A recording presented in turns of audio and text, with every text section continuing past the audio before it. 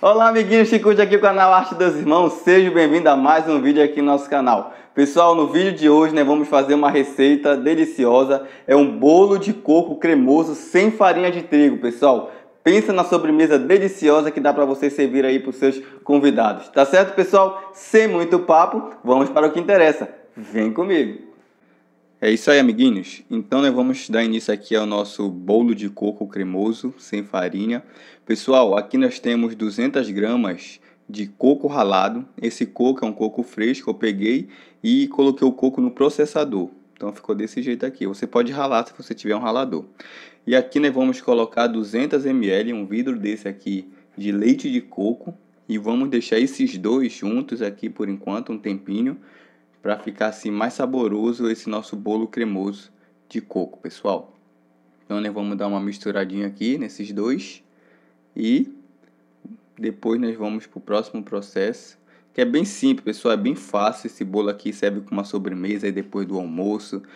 Fica maravilhoso, muito gostoso mesmo. O cheiro vai longe. Coco no forno, assim, parece estar tá fazendo uma cocada, né? então vamos lá, pessoal. Então, já no liquidificador, pessoal, né, vamos colocar quatro ovos, quatro ovos inteiros. Vamos adicionar aqui também junto, pessoal. Nós vamos colocar aqui uma caixinha de leite condensado. É, se eu não me engano, ela é de 395 gramas, né? Não é líquido, é engraçado. É gramas. Então, nós vamos colocar aqui uma caixinha de leite condensado. Vamos adicionar também, não precisa ser uma colher cheia não, pessoal, de essência de baunilha, né? Vamos colocar aqui, pode colocar meio. Vamos colocar uma colher bem cheia agora de sopa de fermento e vamos misturar esses, ingredientes. Viu que não tem segredo, pessoal? Bem simples, bem fácil mesmo. Aí você deixa bater por uns dois minutinhos para ficar bem cremoso aqui. E depois que já misturou, pessoal, nós vamos Aqui desligar o liquidificador, claro. E vamos adicionar lá no coco e no leite de coco que já estava no recipiente aguardando nós. Então, né, vamos misturar. Deixa eu colocar aqui só a metade. Deixa eu dar uma misturadinha aqui. Não tem segredo, pessoal. Muito bom. Vocês vão amar essa receita. Tenho certeza que vocês vão gostar mesmo.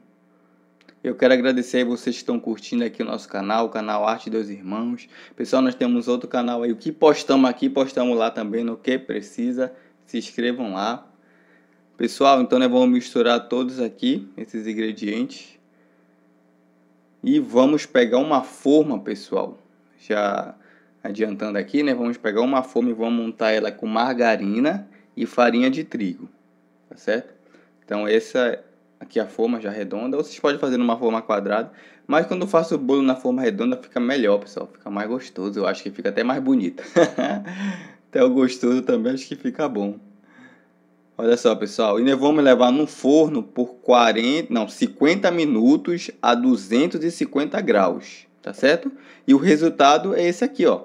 Pessoal, desculpa aí que eu cortei o bolo antes de filmar ele é, inteiro, né? Mas valeu, né? O importante é a gente mostrar o bolo no final da receita, como ficou. E ficou desse jeito aqui, pessoal. Ficou sensacional. É uma receita simples, fácil, prática, não demora para fazer. Muito bom mesmo. Muito bom, você começa fazendo ela aí de manhã, aí quando o almoço estiver pronto, o bolo já está geladinho. Você põe na geladeira que vai ficar sensacional. Vou cortar ele aqui no meio ainda para vocês verem.